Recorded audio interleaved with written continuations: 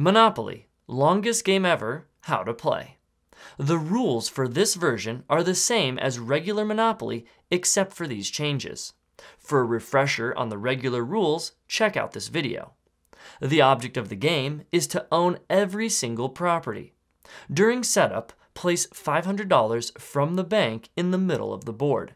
Tokens start the game on the outmost go space. On your turn, you roll the one die and move. There are no longer doubles you can roll. There are three types of properties streets, which come in colored sets, railroads, and utilities. There are three versions of each property. Those three versions share the same title deed card. When you own one of the properties, you own all three. When you own one colored set, you get double the rent on all of the properties.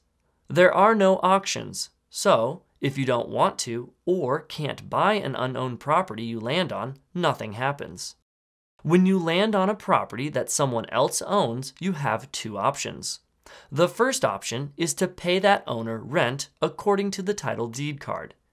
The second option is to buy the property from that player for the price of rent plus $10. They must sell it to you. You may split a complete colored set and you may buy a property with a building on it. Just pay the rent shown on the title deed card plus $10. If you buy a property with buildings, you may move those buildings to any version of that property at any time on your turn.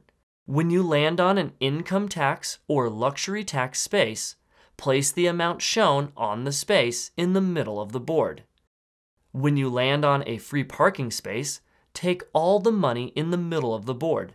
Then refill the center of the board with $500 from the bank. You have two options for how to get out of jail. You can pay $50 or use a get out of jail free card at the start of your next turn, then roll and move as normal. You can have only four houses on a street, but you may split those four houses between the three versions of that street.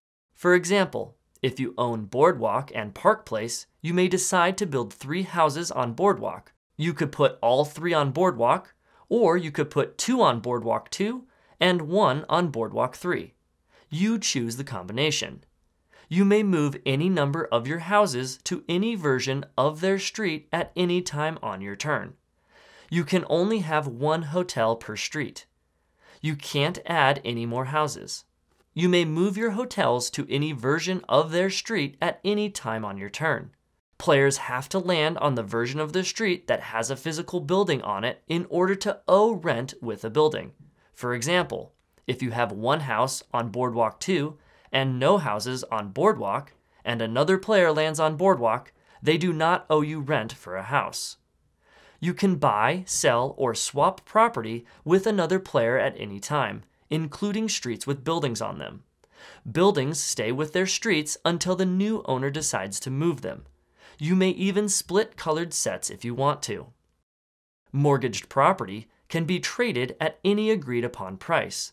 The new owner must immediately repay the mortgage by paying the bank the unmortgaged cost, or keep the mortgage by paying the bank 10% of the mortgage value. When a property is mortgaged, all versions of that property are mortgaged. Rent cannot be collected on any version of a property that is mortgaged. And players may not purchase a mortgaged property when they land on it. The increased rent level can be collected on any version of an unmortgaged street in a colored set. The increased rent on any version of an unmortgaged railroad or any version of an unmortgaged utility may be collected in the same way. When you go bankrupt, you are not eliminated from the game. Instead, after giving all that you have to the creditor, you continue to take turns and move around the board, collecting money from Go and free parking. If the bank ever runs out of money, simply flip a needed bill over and cut it up to make more. Take what you need, then return the rest to the bank. The first player to own every single property, that includes railroads and utilities, wins.